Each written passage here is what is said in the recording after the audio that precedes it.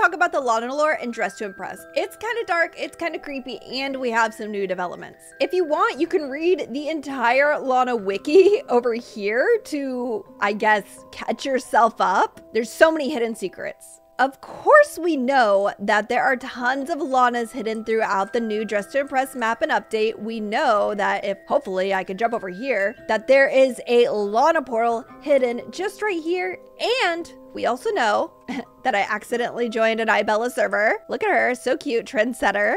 And we know that there is a hidden meet room with a new Lana key added into the game. But did you know that there is a brand new Lana page right here? It just says find me with the user ID because last time we checked, her diary up here just said how much she loved her job. This is the same user ID. Wait, this is the same user ID as the one right here, and it leads us to the Lana Does Nails Roblox profile, which I sent a friend request and they have not added yet, but that's okay. We have a new place right here that was updated one day ago with two badges with, I don't even know what language this is. Let's put it into Google Translate.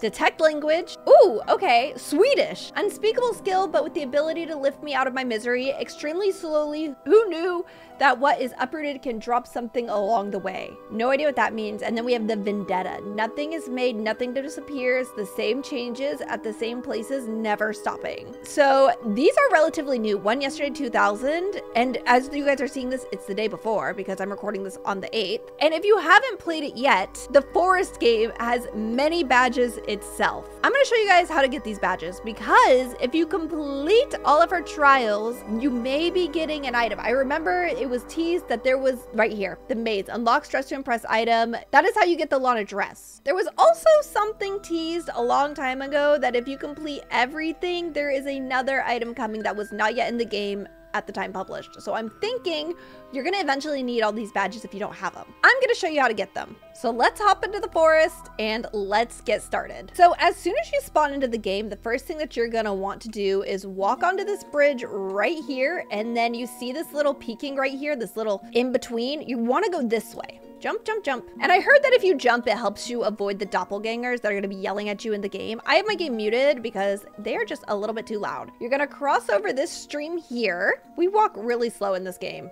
And once you cross the stream, I feel like we should be putting this in like fast forward mode. Like, is there a way to, oh wait, I, I can run, I forgot. So you're gonna just run straight forward and then come over to the side here where you will see this clearing. You'll see kind of some Roblox avatars in the air. And as you can see, Innocence, Tragedy, Wrath. Once you make it to here, you're going to go into your settings and you are going to change your movement mode to click to move. You are going to right click or tap all the way over here and it's going to take you exactly on this invisible path so you can get the first badge. So we're running, we're running, we're running. And as we get here, you will see our first badge will unlock. Perfect!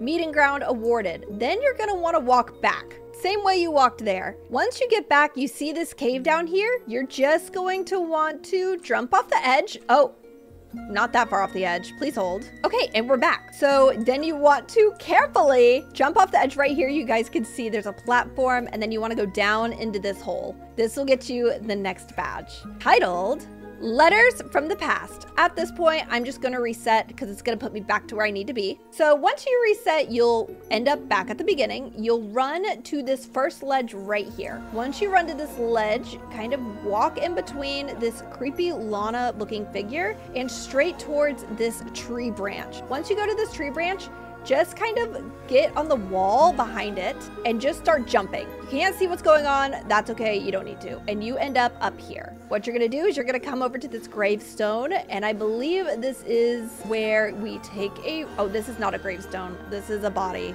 I thought it was a gravestone all this time. And then you're going to take a left. Once you see these trees, you're just gonna walk through them. I feel like there's always a lot of doppelgangers over here, so I get a little scared. You're just gonna follow this path. And be careful, there's a big hole here. You do not want to fall into that hole. You'll come behind this tree and you will come just scooch, follow the flowers, come this way. And here is another cave with the Lana key in it. This is where you get the badge, keys, and locks. Oh my gosh, that was a Lana doppelganger. That's okay, at least we got the badge. We're gonna repeat those steps again. So we're gonna come back over here, go behind this tree, jump, jump, jump, Now where you see this, you are going to jump on top of it and then you are gonna look directly to your right. And then there should be a little path right here. I'm like doing this all from memory from months ago, by the way. Um, maybe it's over, oh yes, it's right here, my bad. You're gonna run directly straight. There are a lot of Lana doppelgangers this way, so be really careful. Our goal is to get to this shed right here. Oh my gosh, she's right there, she's chasing me. She's chasing me. We just have to make it to this door. And that is how you get these badges, Symphony of Nox and The Last Serenade. Now for the hard part, you're going to want to run, you're pretty much gonna follow everybody. Everybody already knows where they're going.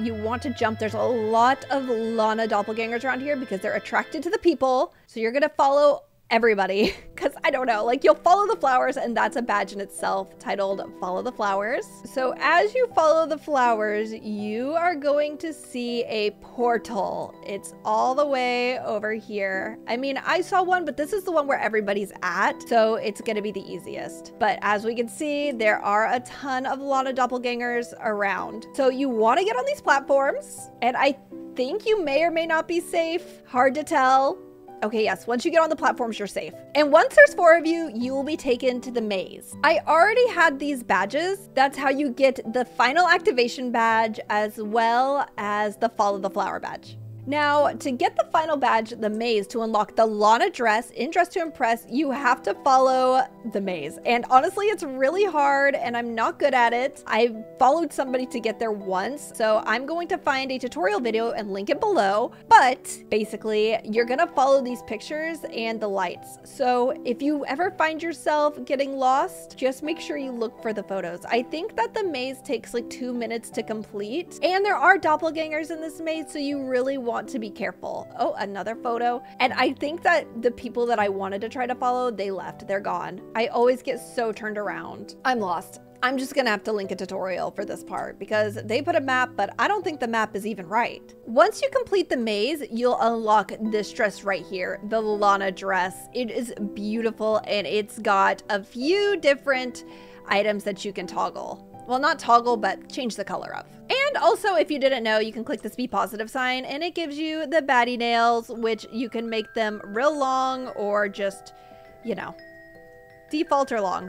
We also have this questionnaire that was updated a month ago with some other badges. And then the fortress was updated 14 hours ago with probably some new badges. I'm not sure exactly I'm not sure exactly how to get these yet. As we can see, this one awards a DTI item and it's extremely rare. If we come into this game, there are a ton of creepy paintings everywhere. As we can see, we have this really scary looking guy behind Lana. This was in the newest update. You can actually see him. Oh, this game is so scary. Like there's a lab there. What does that say? I can't read it. Don't go far deep, don't go far deep, don't go far deep. Well, what happens if we do? Lana, the one who tells the truth, the one you should trust. Vessel, you'll meet her soon. Oh gosh, is somebody down here? Apple, one innocent, one pure and serene. oh gosh, okay. We got the badge, but we were kicked from the experience and jump scared. So we have the first badge, but not the second. We just got the tea from Haley. Thank you, call me Haley. Shout out to her. There's an upside down picture. Let's go find it. So it's an upside down picture. I think it's the one that I saw. I just didn't jump through it. This one right here. I thought it was interesting it was upside down. You jump through it. Oh, rules of the vendetta. Get rid of it. Recognize that her removal is not for the player's safety. Implement more signs of arrival throughout the game to warn players who care. Grow the vessel. Lead them into the tunnels. Don't let them come out. Grow the vessel. Grow the vessel. Let it commence. Oh my gosh. Awaiting revenge? So creepy. So let's refresh and there we have it. Thank you guys so much for watching today's video. What do you guys think about all the Lana lore? Let me know. Thank you. Do not forget to hashtag stay peachy, stay kind, and I will talk to you guys next time. Bye.